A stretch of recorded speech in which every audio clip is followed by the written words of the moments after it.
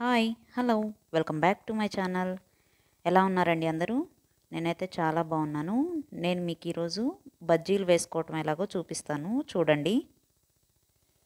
ముందుగా ఒక పావు కేజీ శనగపిండి అలాగే రుచికి సరిపడా సాల్ట్ అలాగే ఈ కొంచెం శనగపిండి వాము వచ్చేసి బజ్జీ మిరపకాయల్లో స్టఫ్ చేసుకోవటానికి తీసుకున్నాను నేను దీన్ని. అలాగే ఒక పావు కేజీ సుమారు బజ్జి మిరపకాయలు కూడా తీసుకోవాలి. ఇక స్టఫింగ్ కోసం అనేసి శనగపిండి వాము చూపించాను కదా శనగపిండి వాము సాల్ట్ వేసి మిక్సీ వేసి మిరపకాయల్లో ఈ విధంగా స్టఫ్ చేసుకుంటున్నాను నేను. మధ్యకి ఘాటు పెట్టుకొని మిరపకాయల్లో స్టఫ్ చేసుకుంటున్నాను. చూడండి. ఇక మీకు చూపించాను కదా శనగపిండి.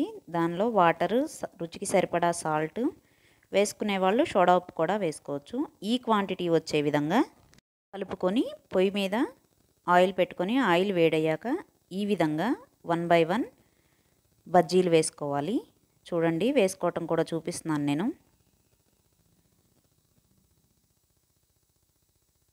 ఈ విధంగా వేసుకోవాలన్నమాట. ఇక ఆ బజ్జీలు గోల్డెన్ బ్రౌన్ కలర్ వచ్చేదాకా ఉంచుకొని తర్వాత ప్లేట్లోకి తీసుకోవాలి. వేడివేడి బజ్జీలు అయితే రెడీ అయిపోయాయండి. సన్నగా తరిగిన ఉల్లిపాయ ముక్కలు ఈ రెడ్ చట్నీతో పాటు తింటే చాలా బాగుంటుందండి. ఈ రెడ్ చట్నీ అంటే కారము నిమ్మరసము సాల్ట్ వేసి కలిపాను నేను. ఒకసారి ట్రై చేసి చూడండి ఎలా ఉందనేది చెప్పండి నాకు.